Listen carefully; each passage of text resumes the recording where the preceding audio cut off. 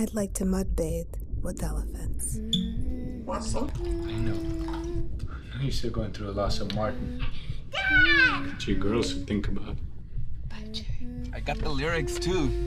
I love Bollywood music. No thanks. Well, would you kiss me if I was the baby Jesus? It's not buckle.